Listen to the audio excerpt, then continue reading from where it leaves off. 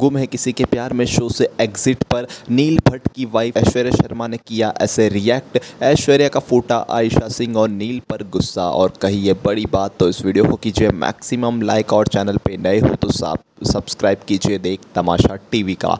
गुम है किसी के प्यार में, इन दिनों रीयूनियन का समय चल रहा है एक तरफ़, जहाँ पर ऐश्वर्या शर्मा खतरों के खिलाड़ी सीज़न 13 के रियलिटी शो में धमाल मचा रही हैं तो दूसरी तरफ़ गुम है किसी के प्यार में शो में जब से ही ऐश्वर्या शर्मा बाहर गई हैं, तब से सई और विराट बहुत ज़्यादा करीब आ गए हैं, और अब तो ये आखिरी रीयूनियन है, जिसकी तारीफ़ चर्चा हर तरफ़ है। तो भाई, ऐश्वर्या शर्मा कैसे पीछे रह सकती हैं? आपको बता दें, ऐश्वर्या शर्मा ने साफ़ किया है कि वो आयशा सिंह पर नज़र रख रही हैं। आयशा और नील भट्ट को वो किसी और प्रोजेक्ट में काम करते हुए नहीं देखना चाहती हैं। ऐश्वर्या शर्मा ने यह साफ़ किया कि we are a professional actors लेकिन जब आपके किसी मन मुताव होते हैं, जब आपका किसी के साथ बहुत ही अच्छी बॉन्डिंग नहीं होती है तो उनके साथ काम करके भी कोई फ़ायदा नहीं है। आई होप सो कि इन दोनों का रियूनियन बहुत अच्छा रहा हो, लेकिन मैं यही चाहूँगी कि मैं अपने हस्बैंड के साथ किसी बड़े शो में काम करूँ। तो साफ़ कर दिया है ऐश्वर्या शर्मा ने बातों ही बातों में कि वो नहीं चाहती हैं कि नील भट्ट और आयशा सिंह एक साथ काम करें। लेकिन आपको बता दें, सैराट के फैंस जो कि यूज़ फ़ैन फॉलोइंग है सैराट की,